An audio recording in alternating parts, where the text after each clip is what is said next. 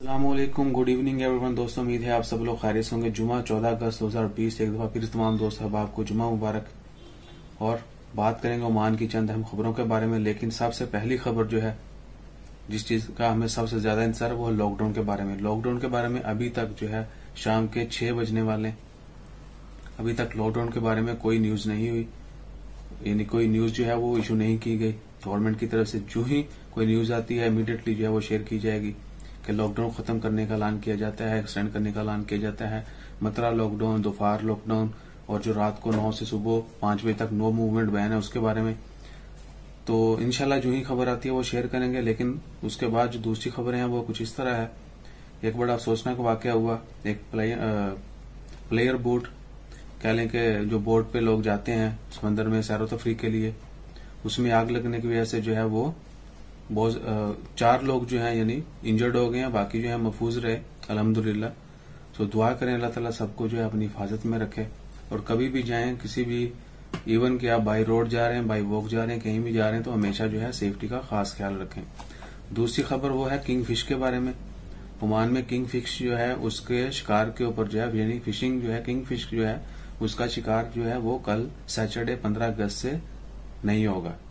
सीजनरी होता है, इससे पहले मैं कुछ न्यूज़ में डाल चुका हूँ कि हर फ़िश का जो है वो सीज़न होता है।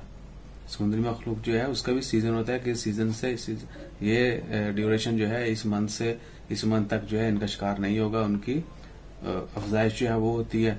इसी तरह और बहुत सारे जितनी भी समुद्री हयात है, उनके बारे में ऐसा ही है। सो किंग फ़िश का जो शिकार है कल सैटरडे से वो बंद हो जाएगा। उसके बाद है, दूसरी खबर वो है मिनिस्ट्री की मिनिस्ट्री ऑफ़ एजुकेशन की। उन्होंने डिनाई किया है कुछ सोशल मीडिया पर रूमर्स चल रहे थे कि जी एक यूनिवर्सिटी है क्वीन रोड यूनिवर्सिटी वो जो है उससे एफिलिएशन रिकग्निशन जो है वो हो गई है ओमान की। सो so, उनकी जितनी भी डिग्री है उस यूनिवर्सिटी जो है वो ओमान में जो है वो रिकग्नाइज है। सो ओमान जी ने एक्सेप्ट करता है उस यूनिवर्सिटी की डिग्री को लेकिन मिनिस्ट्री ऑफ़ एजुकेशन ने इसको अफवाह करार दिया, कहा जी ऐसी कोई भी जो है वो न्यूज़ में सच्चाई नहीं है। There is no sorry recognition of that university in Oman so अगर होगी तो वो ऑफिशियली अनाउंस कर देंगे। आपको पता है कि अफवाहें कितनी तेज़ी से फैलती हैं। सो वास्तव यूनिवर्सिटी है वो हमेशा आगे होती है। उसके बाद खबर है, एक यमनी बच्चे के बारे में। ओमान मिनिस्ट्री ऑफ़ हेल्थ ने जो क्लैरिफिकेशन की है सोशल मीडिया के ऊपर जो है वो बहुत ज़्यादा चल रही थी। र्यूमर्स अफवाहें कि एक यमनी बच्चे को ट्रीटमेंट के लिए मेडिसिन नहीं दी गई।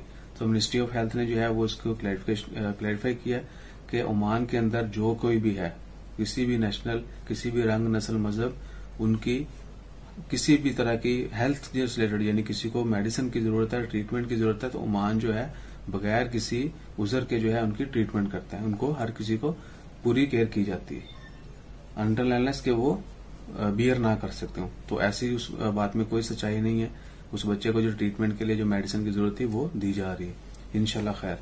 उसके बाद है जिस तरह देगर ममालिक इंडिपेंडेंस डे आज़ादी के दिन, देगर जो नेशनल लेवल पे होती हैं, ओमान ने इंडिया के सुल्तान हैतम बिन तारक, उन्होंने इंडियन प्रेसिडेंट को भी विश किया गया।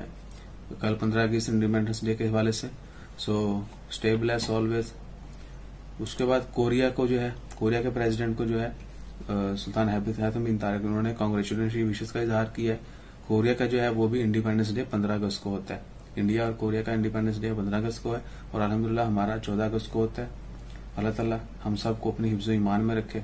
जो ही मजीद खबरें आती हैं, ओमान की, देगर कंट्रीज़ की immediately will share that also और लॉकडाउन के हवाले से तो फिर बता दूँ लॉकडाउन की न्यूज़ जो है, वो सभी लोग इसी का इंतज़ार करें, लेकिन अभी तक उसका कोई अनाउंसमेंट नहीं की गई।